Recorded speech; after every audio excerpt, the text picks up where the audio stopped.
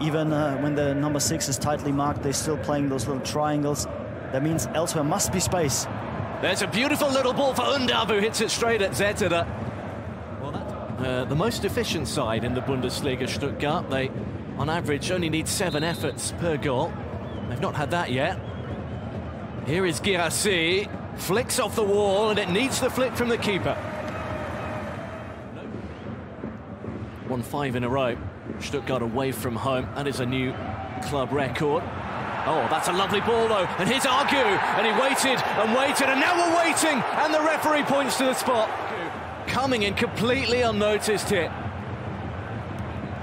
Leweling tried to clear, and then he's clumsy with the challenge. Does he get anything on the ball first? Doesn't look like it. It looks very much like that is not going to get overturned. The chance he would have wanted. Marvin Ducksch against Nübel!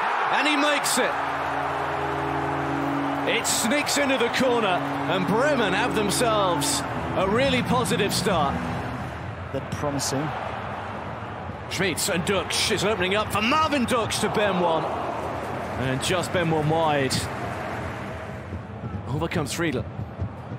Guirassy surrounded by green and white shirts. That's chip for Undav off the bottom of the bar. Very creative, technically almost perfect.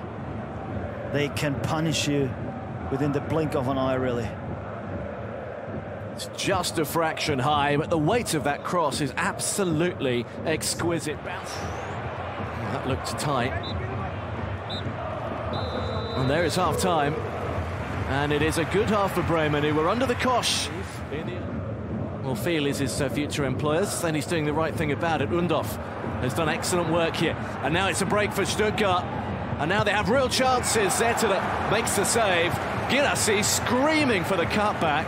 And now inquiring as to why he didn't get it. Start. That break from Stuttgart showing what they could do, but Bremen's win probability now up from 90% at kickoff with that goal to just about 52%.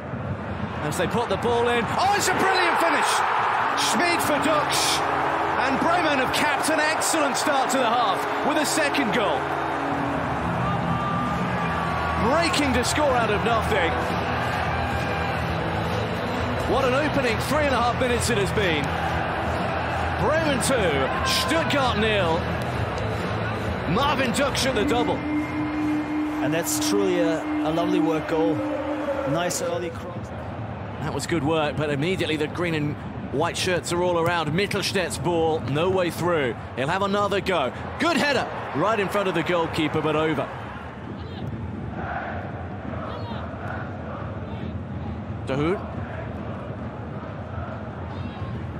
It's fallen to Führich, who hits it straight at the goalkeeper. Here they go with Führich. He's dancing away. It's Guirassy. And Bremen don't know where it is. And now it's in the back of their net. Forced in by Deniz Undav. And with 20 minutes to go, Stuttgart have something to hold on to. Zetterer claims the foul. Stuttgart claim a goal. Ito. Headed away. A look at the watch from the referee. And there is full time. It's a huge win for Werder Bremen and Ole Werner.